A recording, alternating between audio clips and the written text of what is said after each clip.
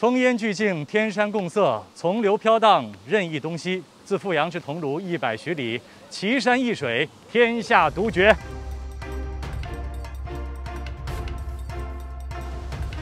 如果要给富春江贴一个标签的话，我想应该用“隐逸”这两个字。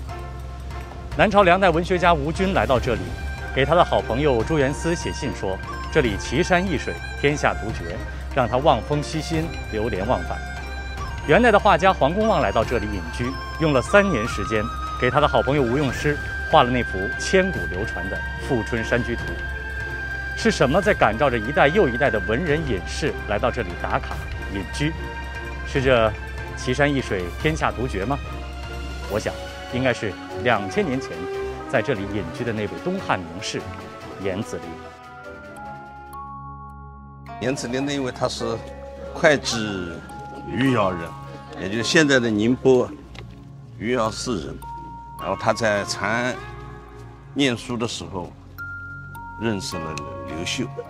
其实他们两个人呢，应该是属于忘年交的。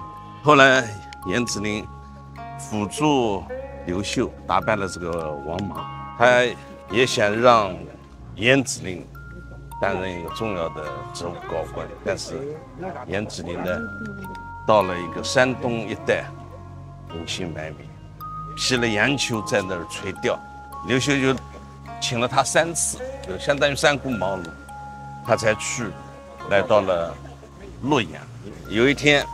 刘秀跟严子陵两个人同床而卧，相谈甚欢。严子陵就把脚搁在光武帝的肚子上，所以第二天管星象的马上来禀报，说有克星犯欲作圣旨。结果刘秀笑着说：“他说没事，这是我跟老朋友严子陵同床而卧罢了。” In his letter to Yan Ziling, Emperor Guangwu said, an outstanding emperor would have unconstrained ministers. He knew very well that to be a virtuous emperor, he had to allow there were distinguished men who did not obey him. So after several failed invitations, he politely sent Yan Ziling off to Fuchun River. You may think that this story isn't complicated, for there are many hermits in Chinese history However, all the lands and human belong to the emperor then. When we look at Yan's capriciousness and the emperor's generosity together, such stories are few and far between. 严子陵和光武，他有两个对句的，为光武 不能成，不能成先生先生之高之高，非先生不能成光武之大。a thousand years after Yan Ziling's death, Fan Zhongyan was relegated to Tonglu. He used the state treasury firstly to build a shrine for Yan Ziling and wrote this famous record of Mr. Yan's ancestral hall. You can feel his admiration for Yan Ziling between the lines. 云山苍苍，江水泱泱，先生之风，山高水长。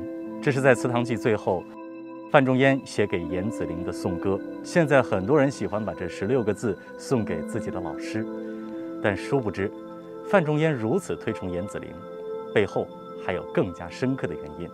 对于严子陵这样一个人物，能够为他修辞作志，从他的角度，他认为严先生的这种风节风骨是可以使贪腐廉、懦夫劣，是。有大功于明教，就是让有贪心的人能够变得清廉起来，胆小的人能够变得挺立起来，勇敢起来。Fan went to the northwest to resist the Western Xia dynasty, then returned to the court. When the Qingli New Deal failed, he went to the village. Twelve years after he left the Tonglu, he wrote Yueyang Tower. I'm concerned with people while serving the emperor and worried about the emperor while dedicating among the people. His sense to life had entered a different realm from Yan Ziling's. He had achieved a sublime personality that future generations will look up to. 所以，每当来到严子陵钓台，大家更感兴趣的可能是光武帝和严子陵的故事。但是，当放眼这泱泱江水、苍苍云山，我们是否更可以遐想，在一千年前？范仲淹在这山水之间，和严子陵进行的心灵对话。